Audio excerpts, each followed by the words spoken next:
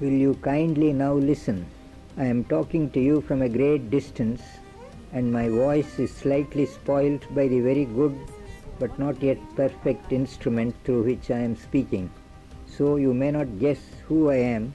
I am Rajagopalachari, and I am speaking from Madras All India Radio Broadcasting Station. இன்றைய நிகழ்வில் சக்கரவர்த்தி ராஜகோபாலாச்சாரியார் அவர்கள் இந்தியாவின் கடைசி கவர்னர் ஜெனரலாக நியமிக்கப்பட்ட நிகழ்வை பற்றி நாம் அறியவிருக்கிறோம். ஆயிரத்தி தொள்ளாயிரத்து நாற்பத்தி எட்டாம் ஆண்டு ஜூன் இருபத்தி ஒன்றாம் நாள் சி. ராஜகோபாலாச்சாரியார் இந்தியாவின் கடைசி கவர்னர் ஜெனரலாக நியமிக்கப்பட்ட நாள்.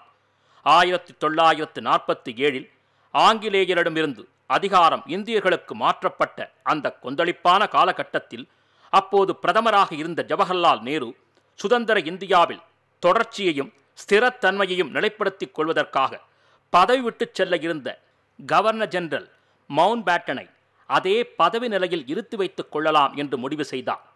திரு மவுண்ட் பேட்டன் நம் நாடு விடுதலை பெற்று ஓராண்டு கழிந்த பிறகு ஜூன் ஆயிரத்தி தொள்ளாயிரத்து நாற்பத்தி எட்டில் அந்த பதவியில் இருந்து விலகியதும் சக்கரவர்த்தி ராஜகோபாலாச்சாரியார் அவர்கள் ஆயிரத்தி தொள்ளாயிரத்து நாற்பத்தி எட்டாம் ஆண்டு ஜூன் மாதம் இருபத்தி ஒன்றாம் நாள் இந்தியாவின் கடைசி கவர்னர் ஜெனரலாக நியமனம் செய்யப்பட்டார். ஆயிரத்தி தொள்ளாயிரத்து ஐம்பதாம் ஆண்டு ஜனவரி மாதம் இருபத்து ஆறாம் நாள் இந்தியாவின் முதல் குடியரசுத் தலைவராக பாபு ராஜேந்திர பிரசாத் அவர்கள் தேர்வு செய்யப்படும் வரையிலும் அவர் இந்த பதவியில் இருந்து வந்தார். அறிவுக்கூர்மையும் திறமையும் மிக்க சக்கரவர்த்தி ராஜகோபாலாச்சாரியார் அவர்களுக்கு நாம் வீர வணக்கம் செலுத்துவோம்.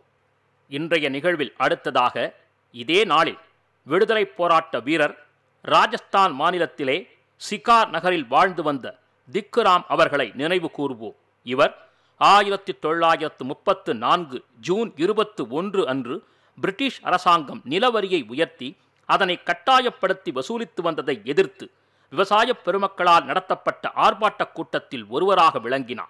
விவசாயப் பெருமக்கள் கூடி நின்று போராடுவதை கேள்விப்பட்ட மூத்த காவல்துறை அதிகாரி தனது காவல் படையோடு நிகழ்விடத்திற்கு வந்தார். முதலில் விவசாயப் பெருமக்களை கைது செய்ய உத்தரவிட்ட இவர் பிறகு போராட்டக்காரர்கள் மீது துப்பாக்கிச் சூடு நடத்தவும் ஆணை பிறப்பித்தார்.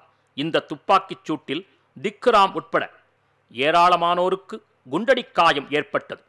துப்பாக்கிச் சூட்டில் மிகவும் மோசமாக காயம் அடைந்த திக்குராம் அவர்கள் அன்றே மரணம் எய்தினார்.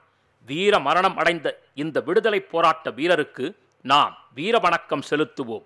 அடுத்ததாக வீர தியாகி நவாப் காதிர் அலிகான் அவர்களையும் இந்நாளில் நினைவு கூர்வோம்.